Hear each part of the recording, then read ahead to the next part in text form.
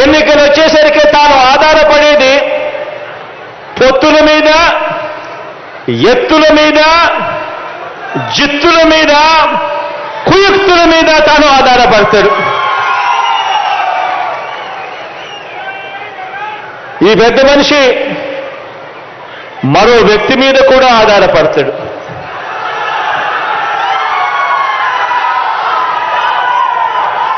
ఒక దత్తపుత్రుడిని యాక్ట్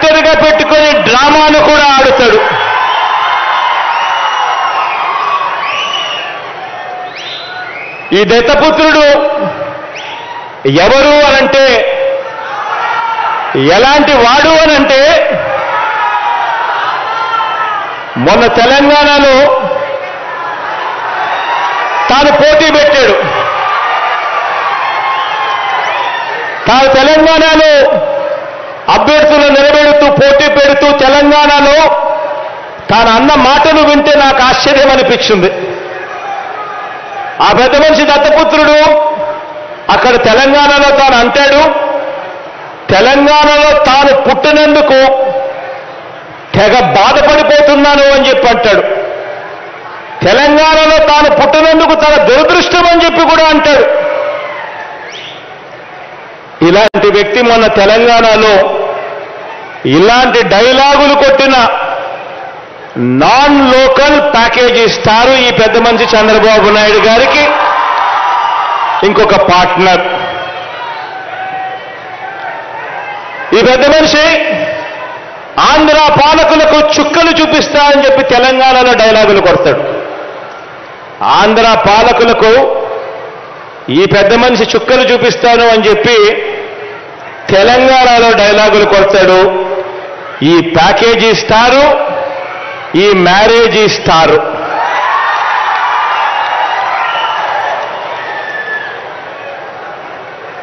ఈ పెద్ద మనిషి పరిస్థితి ఈ దత్తపుత్రుడి పరిస్థితి అక్కడ ఎలా ఉంది అంటే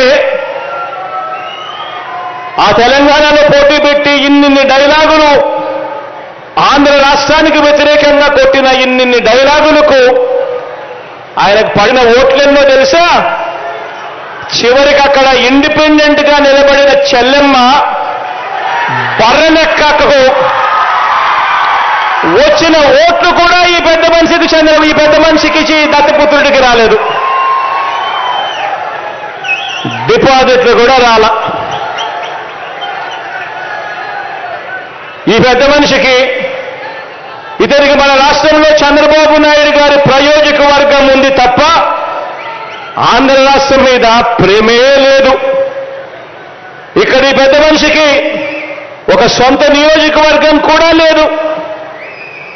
వీరిద్దరూ కలిసి రెండు వేల పద్నాలుగు నుంచి రెండు వేల పంతొమ్మిది మధ్య వీరిద్దరూ కలిసి ఎన్నికల్లోకి కలిసి వచ్చారు.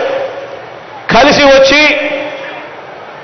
రెండు వేల పద్నాలుగు నుంచి రెండు వేల పంతొమ్మిది మధ్య ఈ ఉద్యానం ఈ ఉద్దానం ప్రాంతానికి మంచినీరు ఇవ్వటం ఎలా అని చెప్పి కనీసం ఆలోచనైనా చేశారా అంటే అది లేదు. రెండు వేల పద్నాలుగు నుంచి రెండు వేల పంతొమ్మిది వీరిద్దరూ కలిసి పోటీ చేసి కనీసం ఉద్దానం ప్రాంతం ఇంత దారుణంగా ఉంది.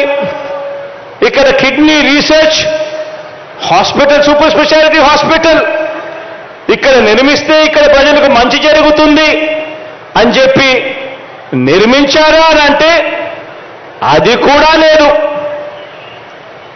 వీళ్ళు బాబు అధికారంలో ఉండగా ఉత్తరాంధ్రకు చేసిన మంచి లేదు. ప్రతిపక్షంలో ఉండి కూడా వారు ఉత్తరాంధ్రకు చేయని ద్రోహం కూడా లేదు.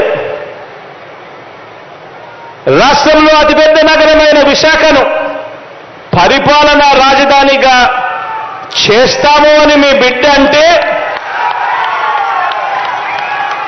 ప్రతిపక్షంలో ఉండి కూడా అడ్డుకుంటున్న దుర్మార్గం వీళ్ళిద్దరిది. ఇక్కడే ఉత్తరాంధ్రలో మీ బిడ్డ ఒక బిల్డింగ్ కట్టినా వీళ్ళు ఏడుస్తారు.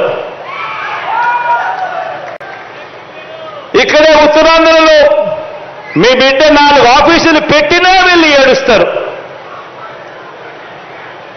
సీఎంగా నేను ఇక్కడికి వచ్చి ఉంటానంటే కూడా ఏడుస్తారు.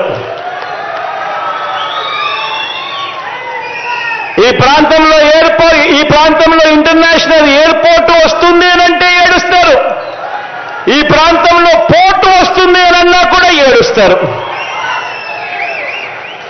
ఇక్కడ ఈ ప్రాంతానికి మెడికల్ కాలేజీలు సెంటర్లు మనం ఏర్పాటు చేస్తున్నాము అని అంటే కూడా ఏడుస్తారు.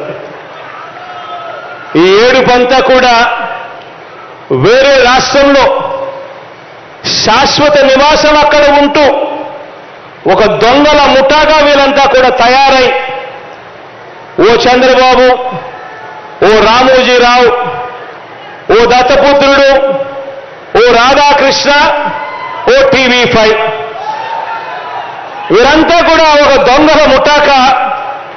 వీరంతా కూడా తయారై వీరంతా కూడా మన మీద పడి ఏడుస్తూ ఉంటారు. ఆశ్చర్యం ఏమిటో తెలుసా?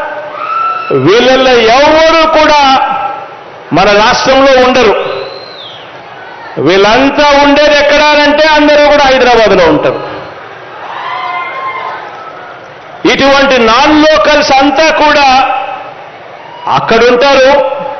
కానీ మన రాష్ట్రంలో మన ముఖ్యమంత్రి ఏం చేయాలి అని మన ముఖ్యమంత్రి ఎక్కడ ఉండాలని మన రాజధానులు ఎక్కడ ఉండాలి అని ఈ నాన్ లోకల్స్ వేరే రాష్ట్రంలో ఉంటూ వాళ్ళు నిర్ణయిస్తామని చెప్పి మనకు చెప్తారు. దానికి తగ్గట్టుగా ఆ ఈనాడులో పెద్ద పెద్ద అక్షరాలు రాస్తారు.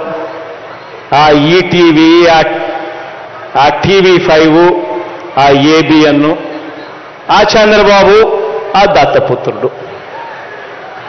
ఇవే కథలు. రోజు ఈ డ్రామాలు. ఆశ్చర్యం ఏమిటంటే వీళ్ళల్లో ఏ ఒక్కరూ కూడా ఆంధ్ర రాష్ట్రంలో ఉండరు. ఈ నాలుగులో కలిసి చెప్పినట్టు మన రాష్ట్రంలో జరగాలట. ఆలోచన చేయమని అడుగుతా ఉన్నా నేను చెప్పిన ప్రతి విషయంని కూడా ఆలోచన చేయమని చెప్పి మనందరినీ కూడా కోరుతా ఉన్నా. ఇక్కడ ఇంటర్నేషనల్ ఎయిర్పోర్ట్ వస్తుంది అంటే వీళ్ళకు ఏడుపు. తీర ప్రాంతంలో పోర్టులు ఫిషింగ్ హార్బర్లు ఫిష్ ల్యాండింగ్ సెంటర్లు. మీ బిడ్డ కడుతున్నాడు అనంటే కూడా వీళ్ళకు ఏడుపు. అధికారంలో అధికారం పోయినందుకు వీళ్ళకు ఏడుపు. వారు ఏనాడు ఇవ్వని విధంగా మనం ఇంటింటికి కూడా పెన్షన్ ఇంటింటికి ఇస్తా ఉంటే కూడా ఏడుపు. వారి హయాంలో ఇచ్చిన వెయ్యి రూపాయల పెన్షన్ను మనం రెండు వేల రెండు వందల యాభైతో ప్రారంభించి ఏకంగా మూడు వేల రూపాయలకు చేస్తుంటే ఏడుపు. వారి హయాంలోని విచ్చలవిడి దోపిడీని మనం అరికట్టి జన్మభూమి కమిటీల